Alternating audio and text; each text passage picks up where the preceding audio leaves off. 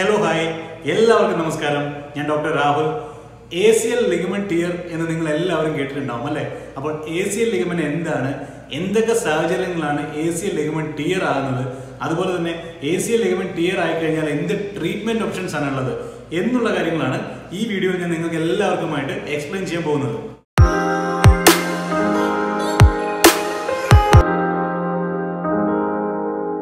A C L ligament അഥവാ anterior cruciate ligament എന്ന് പറയുന്നത് കാലിലെ പ്രധാനപ്പെട്ട രണ്ട് എല്ലുകളെ തമ്മിൽ കണക്ട് ചെയ്യുന്ന ലിഗമെന്റുകളിൽ ഒന്നാണ്.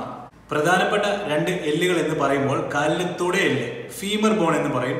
അതുപോലെ തന്നെ കാലിലെ മുട്ടിനെയും പാദത്തെയും തമ്മിൽ ബന്ധിപ്പിക്കുന്ന ലോങ് ബോണായ ടിബിയ ഈ രണ്ട് ബോണുകൾക്കും ഇടയിലാണ് ആന്റീരിയർ ക്രൂഷ്യൽ ലിഗമൻ കാണുന്നത്. ഈ എ സി എൽ ലിഗമെന്റിനെ പ്രധാനപ്പെട്ട ഫംഗ്ഷൻ എന്ന് പറയുന്നത് മുട്ടിന് സ്റ്റെബിലിറ്റി പ്രൊവൈഡ് ചെയ്യുക. സ്റ്റെബിലിറ്റി എന്ന് പറഞ്ഞു കഴിഞ്ഞാൽ നമ്മൾ പല ആക്ടിവിറ്റീസ് ചെയ്യാറുണ്ട് അല്ലേ? സ്പോർട്സ് ആക്ടിവിറ്റീസ് ആയിട്ടും അല്ലെങ്കിൽ ഫങ്ഷണൽ ആക്ടിവിറ്റീസ് ആയിട്ടും ഒക്കെ പല രീതിയിലുള്ള ആക്ടിവിറ്റീസ് ചെയ്യാറുണ്ട്. ഈ ആക്ടിവിറ്റീസിലൊക്കെ നമ്മുടെ മുട്ടിന് പല രീതിയിലുള്ള ഫോഴ്സുകളും ആക്ട് ചെയ്യുന്നുണ്ട്. അപ്പോൾ ഈ ഫോഴ്സുകൾ ഏതെങ്കിലും ഒരു സാഹചര്യത്തിൽ കൂടുതലായി വരികയാണെങ്കിൽ ആ ഫോഴ്സിനെ റെസിസ്റ്റ് ചെയ്യാൻ വേണ്ടിയിട്ടാണ് ഈ എ സി എ ലിഗ്മെന്റ് പ്രവർത്തിക്കുന്നത്. അപ്പോൾ മെയിനായിട്ട് ആന്റീരിയർ സ്റ്റെബിലിറ്റിയാണ് ഇത് പ്രൊവൈഡ് ചെയ്യുന്നത്.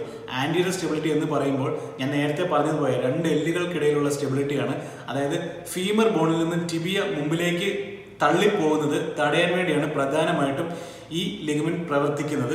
അതുപോലെ തന്നെ റൊട്ടേഷണറി ഫോഴ്സ് മുട്ടിലൊരു റൊട്ടേഷൻ ഉണ്ടാകുക അതായത് ട്വിസ്റ്റിംഗ് ഫോഴ്സ് എന്ന് പറയും.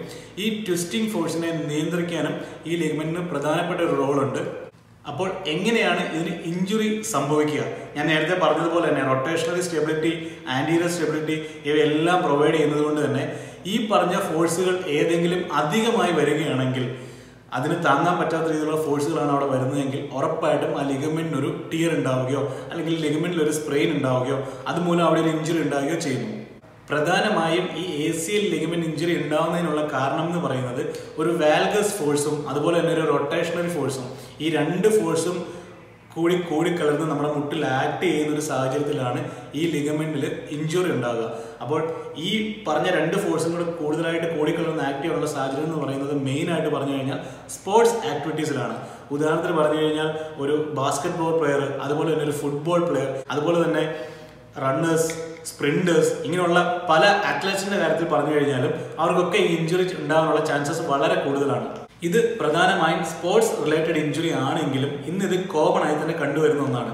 കാരണം നമുക്കിന്ന് അധികം ലെഷർ ടൈം കിട്ടുന്നതനുസരിച്ച് നമ്മൾ അധികം സ്പോർട്സ് ആക്ടിവിറ്റീസിൽ ഏർപ്പെടുന്നു. അപ്പോൾ ഇതുകൊണ്ട് തന്നെ നമ്മൾ പ്രോപ്പർ എക്സസൈസ് പ്രോട്ടോക്കോളും അതുപോലെ തന്നെ വാമപ്സും ഇതൊന്നും തന്നെ ഇല്ലാണ്ട് നമ്മൾ ഈ പറയുന്ന ഗെയിംസിലൊക്കെ ഏർപ്പെടുമ്പോൾ ഇതുപോലുള്ള ഇഞ്ചുറീസ് ഒക്കെ ഉണ്ടാകാനുള്ള ചാൻസസും വളരെ കൂടുതലാണ്. ഈ ലിഗമെന്റ് ടിയർ സ്പോർട്സ് റിലേറ്റഡ് പേഴ്സൺസിലാണ് അധികം കോമൺ ആയി കണ്ടുവരുന്നതെന്ന് പറയുമ്പോൾ ഇത് നമ്മൾക്കാർക്കും ഈ ലിഗമെന്റ് ടിയർ ഉണ്ടാവില്ല എന്ന് നമുക്ക് പറയാൻ പറ്റില്ല.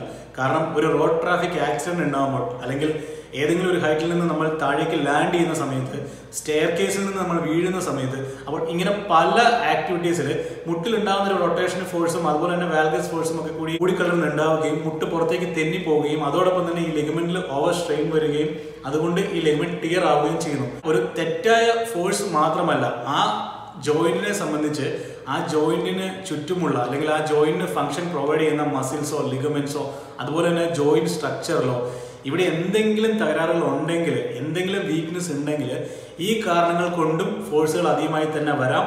അതുമൂലം ലിഗമെന്റിന് അഫക്റ്റ് ആവാം സ്പ്രെയിൻ സംഭവിക്കാം. ഉദാഹരണത്തിന് പറഞ്ഞു കഴിഞ്ഞാൽ കാലിന്റെ മുട്ടിലുള്ള കുറേയധികം മസിൽസ് വീക്ക് ആണെങ്കിൽ അവിടെ നിങ്ങൾ ഒരു ലാൻഡ് ജമ്പ് ചെയ്ത് ലാൻഡ് ചെയ്യുന്ന സമയത്ത് അവിടുത്തെ ഫോഴ്സിനെ കൺട്രോൾ ചെയ്യാൻ ആ മസിലിന് പറ്റിയില്ലെങ്കിൽ ആ ഫോഴ്സ് നേരെ ലിഗമെന്റിലേക്ക് എത്തുന്നു. അപ്പോൾ ലിഗമെന്റിലും ആ ഫോഴ്സ് ഒരുപക്ഷെ പറ്റിയില്ല. ഇവിടെ മസിൽ ഓൾറെഡി വീക്കാണ് അപ്പോൾ ലിഗമെന്റിലും ഓവറായിട്ട് ഫോഴ്സ് വരുന്നുവെങ്കിൽ തീർച്ചയായും ലിഗമെന്റ് ടിയർ ആകുക തന്നെ ചെയ്യും. അപ്പോൾ ഇതെല്ലാം കൂടി കൺട്രോൾ ചെയ്ത് പ്രോപ്പറായി ഫംഗ്ഷൻ ചെയ്താൽ മാത്രമേ നമ്മളുടെ ജോയിന്റ് നല്ല രീതിയിൽ പ്രവർത്തിക്കുകയുള്ളൂ. ഇനി ലിഗമെന്റ് ടിയർ എന്ന് പറയുമ്പോൾ ടിയർ എന്ന വാക്ക് എന്ന് ഉദ്ദേശിക്കുന്നത് കീറുക എന്നാണ്. അതായത് ലിഗമൻ ടിയറിനെ നമ്മൾ പ്രധാനമായും മൂന്ന് രീതിയിലാണ് ക്ലാസിഫൈ ചെയ്യുന്നത്. ആദ്യത്തേത് ഗ്രേഡ് വൺ സ്പ്രെയിൻ ആണ്. ഗ്രേഡ് വൺ സ്പ്രെയിൻ എന്ന് പറയുമ്പോൾ ഒരു മൈക്രോ ടിയർ മാത്രമാണ് ഈ ലിഗമെന്റിൽ ഉണ്ടാവുക. അതായത് ജോയിന്റ് ഒക്കെ സ്റ്റേബിൾ ആയിരിക്കും. നമ്മൾ ലിഗമൻ ടിയറിനെ പറ്റി പറയുമ്പോൾ അതിന്റെ ടിയറിന്റെ അളവ് നമ്മൾ മനസ്സിലാക്കുന്നത് ജോയിന്റെ സ്റ്റെബിലിറ്റി അനുസരിച്ചാണ്. കാരണം ഞാൻ ആദ്യം പറഞ്ഞതുപോലെ തന്നെ ഒരു ലിഗമെന്റ് എന്ന് പറയുന്നത് രണ്ട് എല്ലുകളെ തമ്മിൽ കണക്ട് ചെയ്യുന്നതാകുമ്പോൾ അവിടെ സ്റ്റെബിലിറ്റിക്ക് വളരെയധികം പ്രധാനമുണ്ട് ഈ മൈക്രോ ടിയറിന് പ്രത്യേകിച്ച് ട്രീറ്റ്മെന്റ് ഒന്നും തന്നെ വേണ്ടി വരില്ല. ചെറിയൊരു വേദനയൊക്കെ ഉണ്ടാവുമെങ്കിലും ഇത് ഓട്ടോമാറ്റിക് തന്നെ ഹീൽ ആവുന്നതാണ്. ഇനി അടുത്തത് എന്ന് പറയുന്നത് ഗ്രേഡ് ടു സ്പ്രെയിൻ ആണ്. ഇവിടെ ലിഗമെന്റ് പാർഷ്യൽ ടിയർ ആണ്.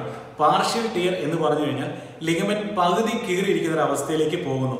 ഇത് തീർച്ചയായും ചില ആളുകളിൽ സർജറി വേണ്ടി വരാം. എന്നാൽ മറ്റു ചില ആളുകളിൽ ഇത് കൺസർവേറ്റീവായി തന്നെ മാനേജ് ചെയ്യാനുള്ള സാധ്യതകളുമുണ്ട്.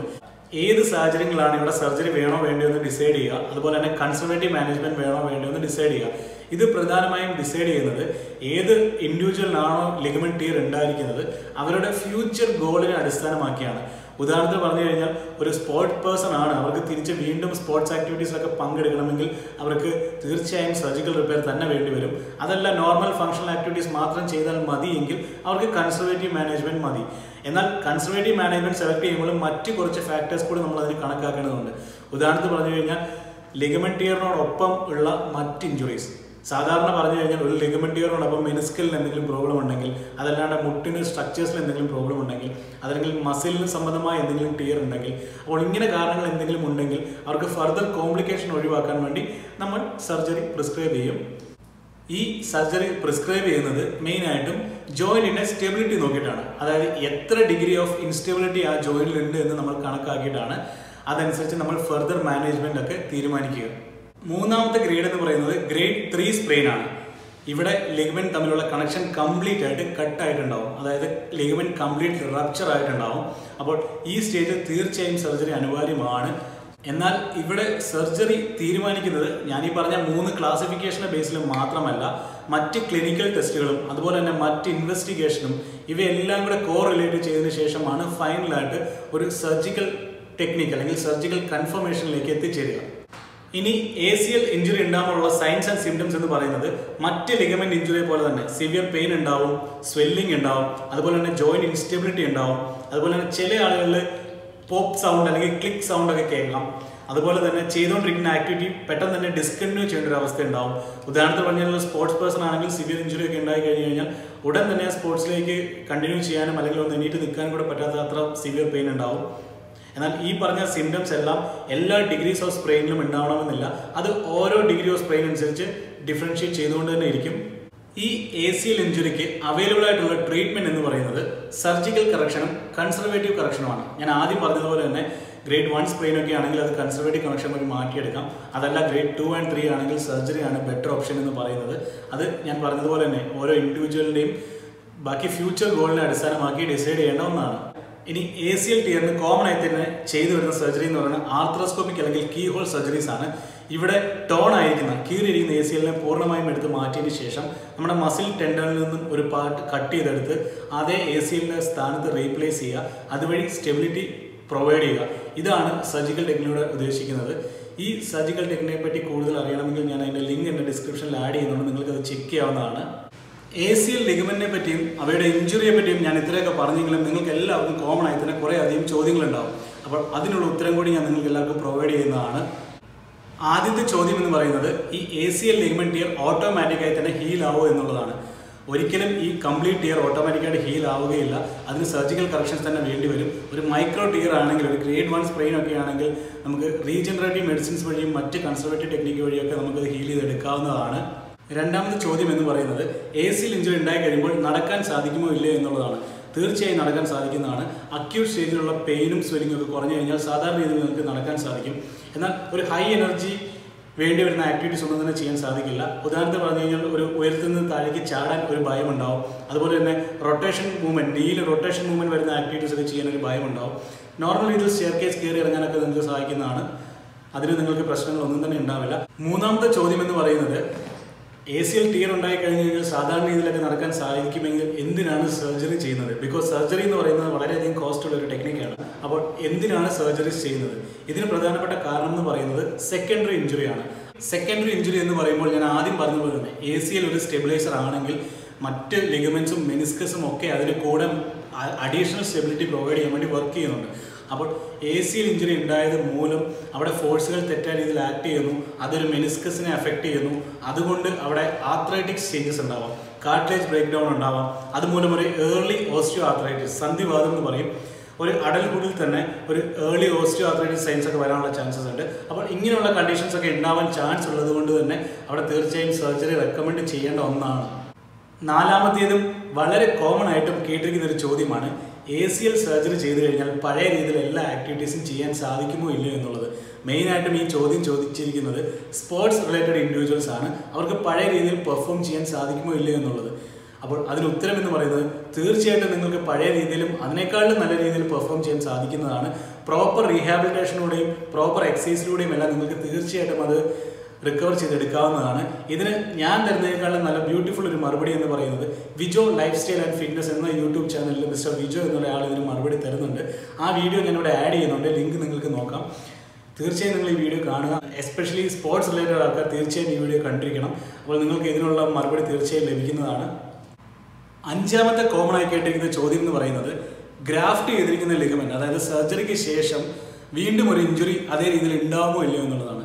സാധാരണ അപേക്ഷിച്ച് സാധാരണ ലിഗമെന്റിനെ അപേക്ഷിച്ച് പ്രോപ്പർ സർജിക്കൽ ടെക്നിക്ക് ആണ് ചെയ്തിരിക്കുന്നതെങ്കിൽ അവിടെ വെച്ചിരിക്കുന്ന ഗ്രാഫ്റ്റ് സർജിക്കൽ ഗ്രാഫ്റ്റ് എന്ന് പറയുന്നത് പഴയ ലിഗ്മെന്റിനേക്കാളും സെവന്റി പെർസെന്റ് സ്ട്രെങ്ത് കൂടുതലായിരിക്കുമെന്നാണ് ബയോമെക്കാനിക്കൽ സ്റ്റഡീസ് ഒക്കെ പറയുന്നത്. അപ്പോൾ തീർച്ചയായിട്ടും അതിന് പഴയതിനെക്കാട്ടിലും കൂടുതൽ ഒരു ഔട്ട്കം തരാൻ സാധിക്കുക തന്നെ ചെയ്യും. പ്രധാനപ്പെട്ട മറ്റൊരു കാര്യം കൂടി ഞാനൊന്ന് ഓർമ്മിപ്പിക്കുന്നു. നിങ്ങൾക്ക് എപ്പോഴെങ്കിലും ഇതിനു മുമ്പ് ഒരു മുട്ട് തിരിയുന്ന രീതിയിലോ ട്വിസ്റ്റ് ചെയ്യുന്ന രീതിയിലോ ഒക്കെ നിങ്ങൾക്ക് എന്തെങ്കിലും ഒരു ഹിസ്റ്ററി ഉണ്ടായിട്ടുണ്ടെങ്കിൽ തീർച്ചയായും നിങ്ങൾ പ്രോപ്പർ കൺസൾട്ടേഷൻ ചെയ്യുക പ്രോപ്പർ ഡയഗ്നോസിസ് പ്രോപ്പർ ഇൻവെസ്റ്റിഗേഷൻ എല്ലാം ചെയ്യുന്നത് അത്യാവശ്യമായ കാര്യമാണ്. മോസ്റ്റ്ലി ലെഗ്മെന്റേഴ്സ് എല്ലാം നമുക്ക് മനസ്സിലാണെങ്കിൽ ഒരു എം ആർ സ്കാൻ എടുത്തേ മതിയാവും. ചില ആളുകൾ ഒരു പക്ഷേ അങ്ങനെ ഒരു ഹിസ്റ്ററി ഉണ്ടെങ്കിലും സാധാരണ രീതിയിൽ ഒരു കൺസൾട്ടേഷൻ ഒക്കെ നടത്തിയതിന് ശേഷം സാധാരണ മെഡിസിൻസ് ഒക്കെ കഴിച്ച് അത് മാനേജ് ചെയ്തുകൊണ്ട് നടക്കുന്നുണ്ട്. എന്നാൽ തീർച്ചയായും ഒരു എം ആർ സ്കാൻ എടുത്താൽ മാത്രമേ അവിടെ ലിഗമെന്റ് സ്പ്രെയിൻ ആയിട്ടുണ്ടോ ലിഗമെന്റ് ടിയർ ആയിട്ടുണ്ടോ എന്ന് മനസ്സിലാക്കാൻ സാധിക്കുകയുള്ളൂ. അപ്പോൾ M R I scan costly ആണ് എന്ന് വിചാരിച്ച് നിങ്ങൾ ഈ ടെസ്റ്റ് ഒരു കാരണവശാലും എടുക്കാതിരിക്കരുത്. അതെടുത്താൽ മാത്രമേ നിങ്ങൾക്ക് അത് അസോസിയേറ്റഡ് ആയിട്ട് സെക്കൻഡറി പ്രോബ്ലംസ് എന്തെങ്കിലും ഉണ്ടോ എന്നുള്ളത് മനസ്സിലാക്കാൻ സാധിക്കുകയുള്ളൂ. ഒരുപക്ഷെ ഇപ്പോൾ നിങ്ങൾക്ക് എ സി ഇഞ്ചുറി മാത്രമായിരിക്കാം ഉണ്ടാവുക. പക്ഷേ നിങ്ങൾ അത് ട്രീറ്റ് ചെയ്യാണ്ട് വീണ്ടും ഒരു വൺ ഇയർ ടു ഇയർ ഒക്കെ നിങ്ങൾ നീട്ടിക്കൊണ്ട് പോയി കഴിഞ്ഞാൽ അതിനോടൊപ്പം ഒരു മെനിസ്കൽ ഇഞ്ചുറിയും മറ്റ് ലിഗമെന്റ് ഇഞ്ചുറികളൊക്കെ വരാനുള്ള ചാൻസസ് കൂടുതലാണ്. അപ്പോൾ അവിടെ സിറ്റുവേഷൻ വളരെയധികം കോംപ്ലിക്കേറ്റഡ് ആവും. മെനിസ്കൽ ഇൻവോൾവ്മെന്റ് ഒക്കെ ഉണ്ടായി കഴിയുമ്പോൾ ഒരു മെനിസ്കൽ എക്ടമി ഒക്കെ ചെയ്യേണ്ടി വരുന്ന ഒരു സാഹചര്യം എന്ന് പറയുന്നത് വളരെയധികം കോംപ്ലിക്കേഷൻ ഉള്ള ഒരു സാഹചര്യമാണ്. അത് അപ്പോൾ ഞാൻ നേരത്തെ പറഞ്ഞതുപോലെ തന്നെ ഒരു secondary O A early osteoarthritis ഇങ്ങനെയുള്ള ചാൻ ഇങ്ങനെയുള്ള കണ്ടീഷൻസ് ഒക്കെ വരാനുള്ള ചാൻസസും വളരെ കൂടുതലാണ്. അപ്പോൾ ഇതെല്ലാം നിങ്ങളുടെ മനസ്സിൽ ഉണ്ടാവണം. അതുകൊണ്ട് തന്നെ എന്തെങ്കിലും ബുദ്ധിമുട്ടുകളുള്ളവർ തീർച്ചയായും കൺസൾട്ട് ചെയ്യുക. അതിനുശേഷം ഡയഗ്നോസിസിൽ എത്തിച്ചേരുക. വീണ്ടും നിങ്ങൾക്ക് എ സി എൽ ഇഞ്ചുറിയെ പറ്റിയും എ സി എൽ റീഹാബിനെ പറ്റിയും അങ്ങനെ എന്തെങ്കിലും സംശയങ്ങൾ ഉണ്ടെങ്കിൽ തീർച്ചയായും നിങ്ങൾ എനിക്ക് മെസ്സേജ് ചെയ്യുക കമന്റ് ചെയ്യുക. ഞാൻ തീർച്ചയായിട്ടും റിപ്ലൈ തരുന്നതായിരിക്കും. ഒരിക്കൽ കൂടി ഓർമ്മിപ്പിക്കുന്നു എന്റെ വീഡിയോസ് എല്ലാം നിങ്ങളുടെ എഡ്യൂക്കേഷൻ പർപ്പസിന് വേണ്ടി മാത്രമാണ്. ഒരു കാരണവശാലും എന്റെ വീഡിയോ കണ്ടിട്ട് നിങ്ങൾ ട്രീറ്റ്മെന്റ് സ്വയം ഡിസൈഡ് ചെയ്യാനോ അല്ലെങ്കിൽ ട്രീറ്റ്മെന്റ് സ്വയം സ്വീകരിക്കാനോ പാടുള്ളതല്ല. തീർച്ചയായും പ്രോപ്പർ മെഡിക്കൽ കൺസൾട്ടേഷന് ശേഷം മാത്രം നിങ്ങളുടെ അസുഖങ്ങളും ശരീര ബുദ്ധിമുട്ടുകളും അവയ്ക്കെല്ലാം ഫൈനലായിട്ട് തീരുമാനത്തിൽ എത്തിച്ചേരുക അപ്പോൾ this is walk in physiotherapy in education I am doctor Rahul എല്ലാവർക്കും നന്ദി.